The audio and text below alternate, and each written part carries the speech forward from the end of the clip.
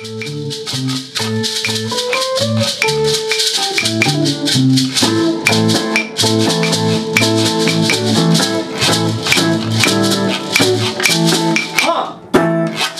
All right. I'd like. Uh, I teach a class called uh, uh, Latin Jazz for the Rock Player.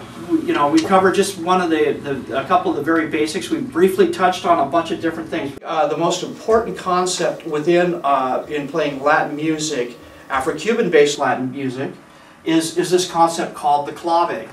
Clave is essentially built on the concept that we're going to take two measures of music and we're going to set up a rhythmic pattern within that those two measures of music and that those two patterns are going to be uh, uh, are going to be uh, in uh, what's either called forward clave or reverse clave.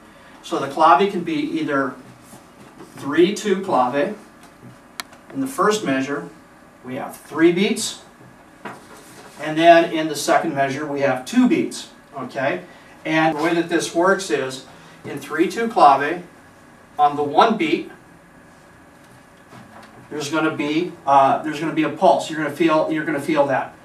You're going to take a rest, an eighth note rest. So it's going to be one and two, and then you're going to play an eighth note. So one and two and.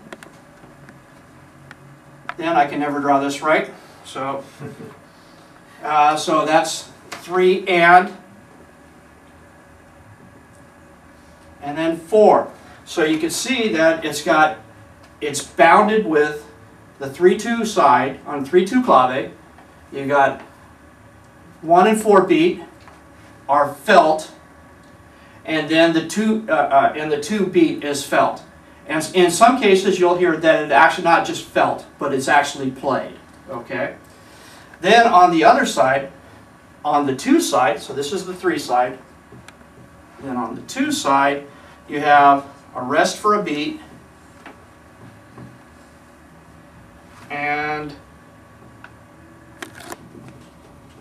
two and three are played or felt, and then a rest on the four beat, three, okay?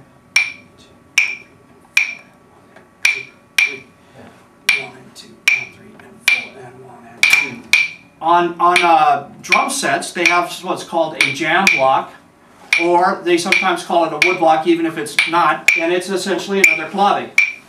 So on the, I have my timbale set here, and so we're going to do this.